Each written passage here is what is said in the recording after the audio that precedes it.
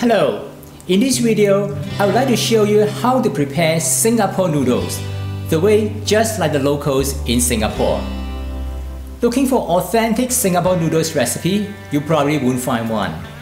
It's a term given by the peoples in foreign countries, the way the local prepare the rice vermicelli. According to the Michelin Guide Singapore, there's a total of 38 star restaurant in the small island city which is about 700 square kilometers.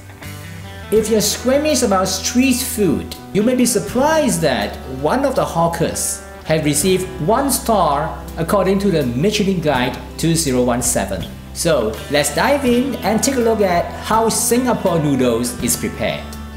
I'm KP Kwan, thanks for joining me.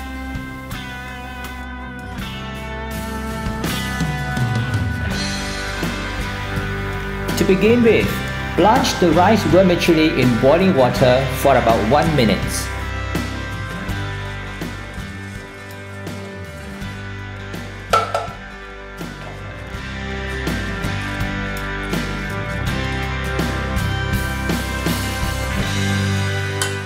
or until it becomes soft and tender.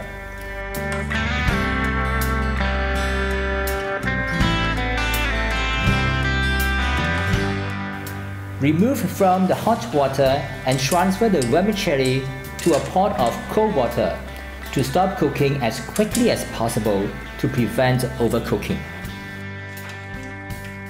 I prefer this method as the rice vermicelli will have a springy texture and not easy to break during stir frying. Alternatively, you can just soak them in cold water for at least 1 hour or until they become soft and drained. Now, let's take a look at the ingredients we use to cook the vermicelli just like the local in Singapore.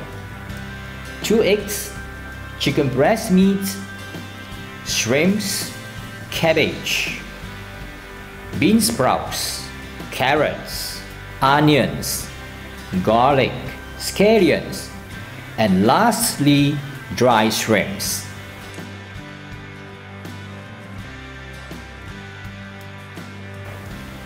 As for the chicken, marinate with corn flour, some oil and light soy sauce for half an hour or more.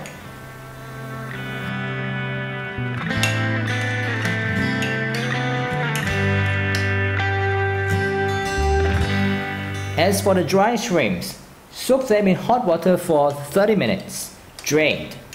They will be hydrated and ready to use. As for the shrimps, deveined, clean, and mixed with a large spoon of salt. Set aside for 10 minutes and wash away the salt under running water. Now let's look at the seasoning for the noodles. Tomato ketchup, chili sauce, light soy sauce, dark soy sauce, oyster sauce, white pepper, and sesame oil.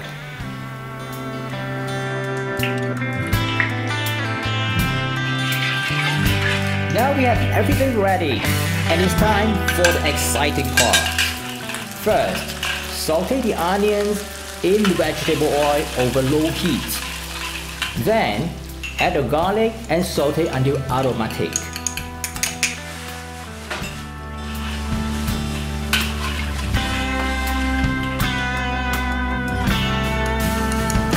Dry shrimps. Dry shrimps are savory, but it's an acquired taste. So do not omit it if you want the genuine Asian flavor. Throw in the chicken and followed by the shrimps.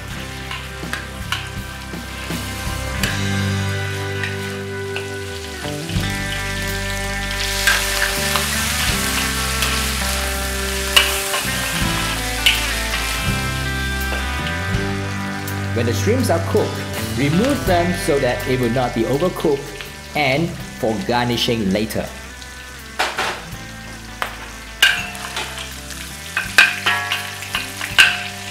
Next, add the cabbage and carrots.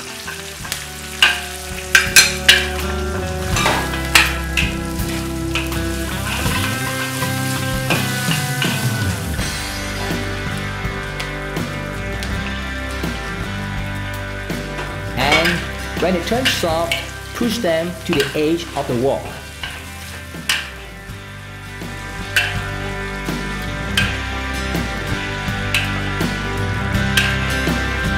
Crack two eggs and scramble them at the center of the wok. Add some oil if necessary.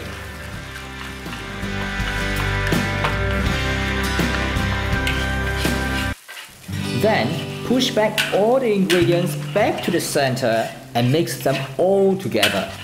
And then set aside.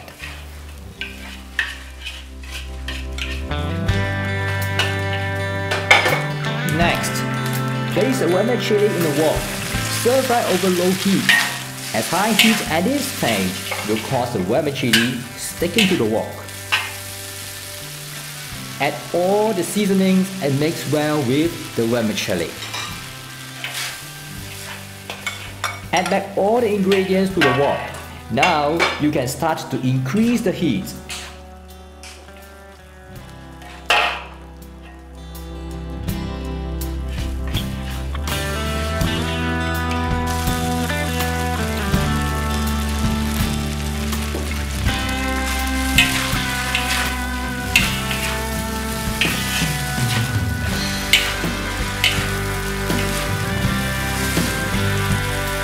Stir fry over high heat and add part of the bean sprout and stir fry briefly. Then turn off the heat and add the rest of the bean sprout so that they will remain crunchy when served. And here you have the Singapore noodles, cooked by following the way how the locals prepare them in Singapore. Try this recipe and you can print the recipe by visiting our website tasteasianfood.com slash Singapore noodles. If you like this recipe, please subscribe to our YouTube channel and leave a comment should you have any questions. I'm KP Kwan. Bye for now.